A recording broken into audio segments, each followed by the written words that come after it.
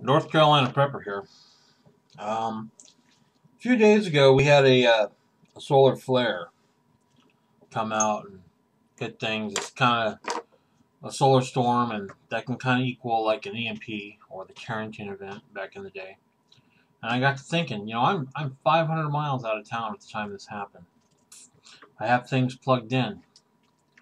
I don't want these things to blow up in an EMP or a solar storm or flare or anything.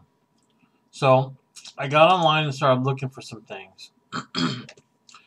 and I want to protect my radio equipment. And I came across an article called Electromagnetic Pulse and the Amateur Radio. This is from a QST magazine. It's a ham radio magazine.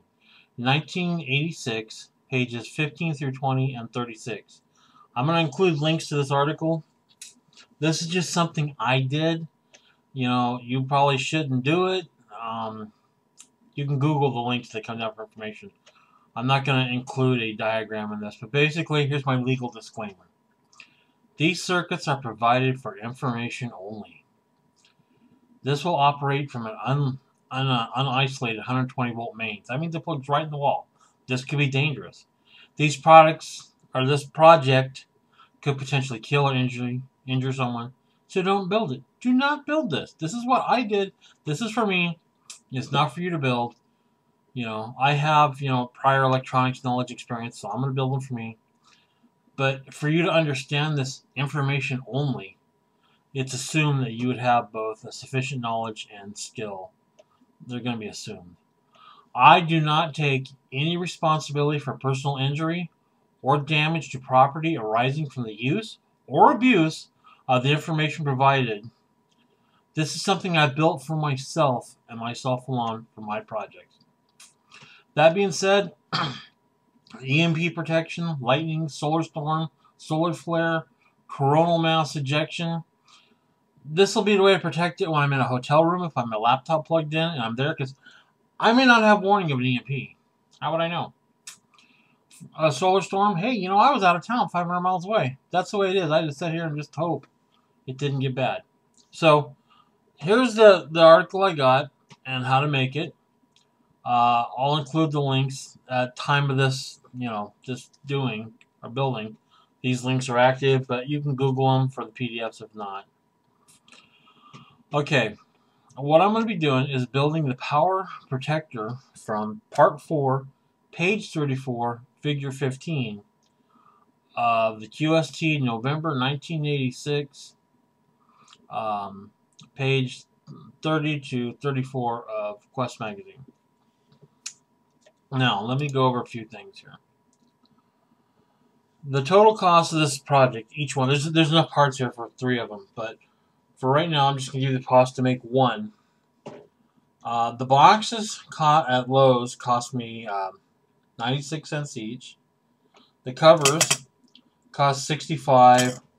The washers were 20 cents each.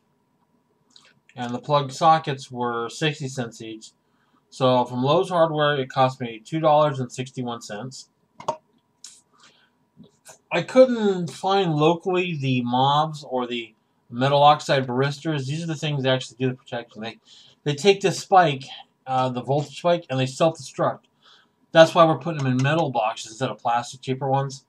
That way, in case they get hot, or, well, they will get hot. They will get hot in, a, in an event. And they should go really quick and break apart and break the circuit, but I don't want any fire, so I'm putting it in the metal boxes. I had to go to Radio Shack for these because I didn't want to wait. I wanted it now.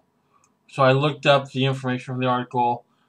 I got online. I compared different uh, MOVs and different clamping voltages and etc and I found comparable ones at Radio Shack. Uh, you can get them for about 50 cents each if you order them online. But I went with the more expensive ones, and I went with Radio Shack, which probably jacked it up a lot more. Um, so they came to 219 each. And I need three per project. I got the fuse hold. These are the MOVs, by the way. Different packaging, the same thing. I got the fuse holders. They're 219 four pack of fuses because fuses are very, very important. They came to 319.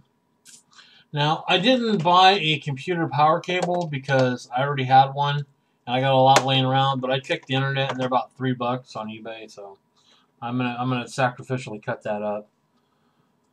So basically, you're looking at about 15 bucks for every uh, solar storm protector, or EMP protector, or lightning. I'm going to build this, and these will self-destruct in, in an event and protect equipment. I mean, if you're going to have a lot of money in equipment, you, you can spend 15 bucks. I mean, I can spend 15 bucks. You don't build this. It's not for you to build. No. But, uh, where was I? Oh, yeah. Um, I built this for me. This is just for me. And I'm not I'm out of town. You know, if I have my tablet or something plugged in and something happens, boom. Now, I'll take this and I'll plug this into a surge protector because the more things in line, the more of like a shock absorber it will be. But these are basically in surge protectors, but they kind of like burn up when you use them or when there's a big event. You know, so that's that. All right, let me go ahead and start getting ready to assemble this, and we'll see how we go.